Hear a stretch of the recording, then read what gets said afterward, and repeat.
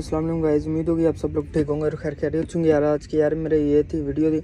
ये यार मैं पुरानी यादें ताज़ा करने के लिए आया हुआ था अपने नेट वाली जगह पे। आप भी कहते हो किधर फिर वो जगह सही नहीं लगी। फिर मैंने कहा, चलो यार थोड़ी सी टिकटॉक ही बंदा बना लेता है।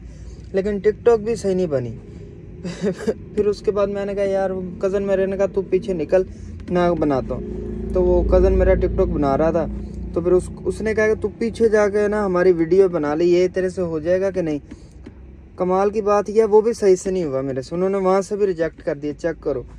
फिर मैंने सोचा कि यार चलो और कुछ नहीं होता तो चलो बंदा ग्रीन टी पी लेता है। तो मोटा काफ़ी हो रहा था, मैंने कहा चलो ग्रीन टी पी लेते हैं। आगे किस्मत ऐसी ख़राब है कि ग्रीन टी का हाल चेक करो, ये चेक करो। चूल्हा गैस सिलेंडर था नहीं, बड़ी मुश्किल से आग जलाई थी, वो भी गिर गया नीचे। ये तो हमारी किस्मत है भाई साहब चेक करो। फिर उसके बाद क्या नाम है? ये मैं उसका अफसोस कर रहा था बैठा चूल्हे पे।